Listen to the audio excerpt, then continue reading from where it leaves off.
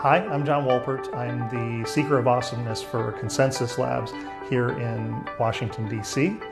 Uh, ConsenSys is a company that is operates in many countries. We're the largest blockchain company right now uh, in the world by many accounts, and one of the fastest growing software companies in the world, and by many accounts, the largest blockchain company in the world.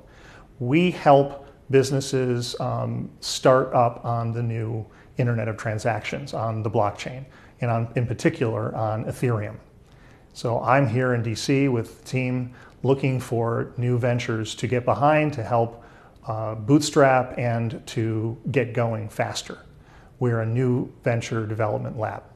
So my experience of the evolution of blockchain, which I think is pretty common, was a number of years ago hearing about Bitcoin and um, cryptocurrency and thinking that was novel and interesting. But I was at IBM at the time working uh, on the Watson team. And that was artificial intelligence and pretty interesting unto itself, so I didn't pay it a lot of attention. Uh, then a few years later, my boss, my, one of my favorite uh, people at, at IBM, who's now uh, the head of uh, IBM Blockchain, uh, Jerry Cuomo, called me up and he said, Hey, Lewis, it's Clark. And I said, What do you want, Jerry? And he said, uh, he said, Well, there's this thing called blockchain. I mean, we don't know a lot about it, but there, there's, there's gold in there, those hills. Go out and find it. And I said, Well, give me a ship and crew and I'll, and I'll go investigate. And he said, Well, I got a canoe, two dogs, and a musket. And I said, Well, okay. And we got lucky. It, it turned out that blockchain was, was uh, you know, we turned, we got halfway across the Mississippi and looked over our shoulders and found that uh, there was a wagon train behind us. And now we're running a boom town. And um, you know, there was definitely, uh, there was a there there. So we got lucky, and that's how I stumbled into blockchain. Every use case I've seen in industry to date since 2015 that was a, that, that tried to do something with blockchain that said, hey, let's do this on blockchain, has almost to a, every single one of them has proven why it doesn't need blockchain.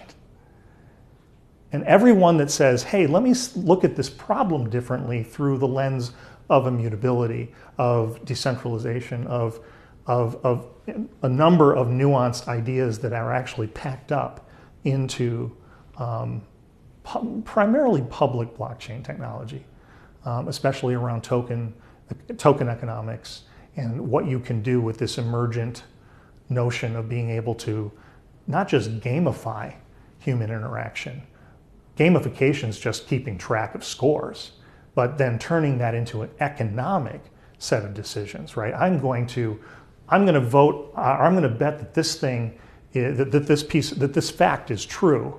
Well, if the consensus is that it's false, I just lost not just a point, but real economic value in some way, either in money, real money, or some kind of other value, maybe voting points or that, something else.